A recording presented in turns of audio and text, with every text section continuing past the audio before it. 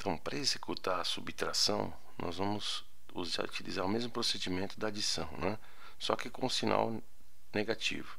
Então, tecla branca, abro colchetes, tecla branca de novo, mais um colchetes, vou escrever a minha primeira linha, 3, 0, novamente dou um espaço aqui, tecla branca, novo colchete, 4 e menos 7. Olha ele aqui, ó, trocando sinal. Dou um Enter, ele entrou com a minha primeira matriz.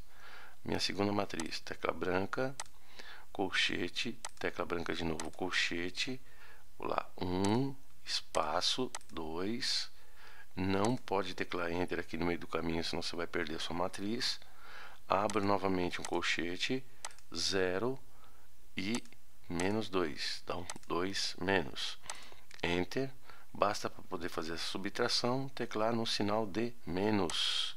E aí ele trouxe para nós o resultado da subtração das duas matrizes. E até o próximo.